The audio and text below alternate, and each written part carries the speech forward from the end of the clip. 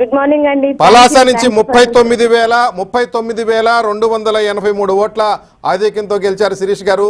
Tough seat అనేటువంటి ఒక ప్రచారం జరిగింది మొదట్లో. ఇంత భారీ ఆధిక్యంతో గెలిచారు.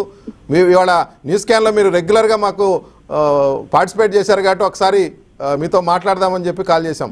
శిరీష్ గారు. థ్యాంక్ యూ అండి thank you so much yeah yeah. ఏ ఏంటి ఎట్లా ఇంత భారీ విజయం ఎలా సాధ్యమైంది అనుకున్నారు నలభై వేల ఓట్ల ఆధిక్యం దగ్గర దగ్గర? సార్ ముందుగా మీ టీవీ ఫైవ్ ద్వారా ఆంధ్ర రాష్ట్ర ప్రజలకి నమస్కారాలు అండ్ క్షమాపణలు కూడా అడుగుతున్నానండి.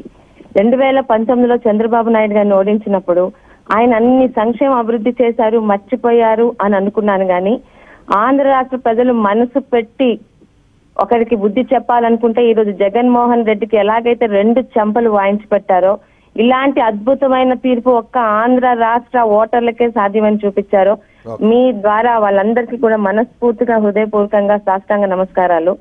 నిజంగా అంటే ఒక రావణాసురుడు ఒక రాక్షసుడు తాలూకా పరిపాలన తర్వాతే రాముడి పాలన తాలూకు విలువ అర్థమవుతున్నట్టు చంద్రబాబు నాయుడు గారు చేసిన తర్వాత ముఖ్యంగా జగన్మోహన్ రెడ్డి ఐదు సంవత్సరాలు ఆయన ఒక్కడే కాదండి. శిరీష్ గారు మరి అక్క చెల్లెమ్మలందరికీ నేను చాలా చేశాను.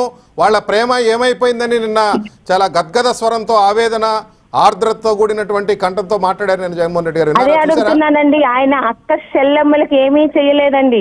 మద్యపాన నిషేధం చేశాడా? చేయూత విషయంలోని మోసాలు చేశాడా?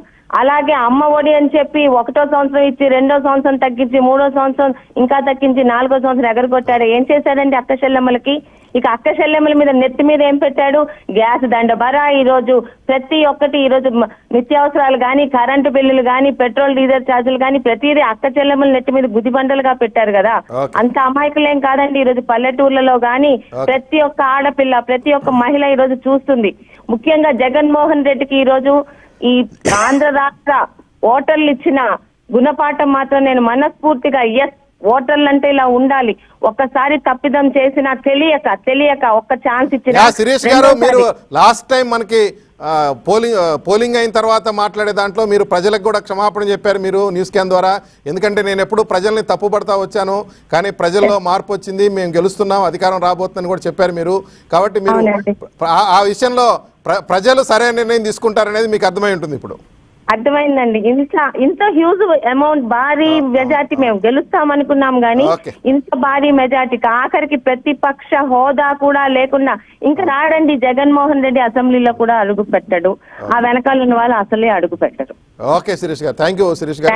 Very much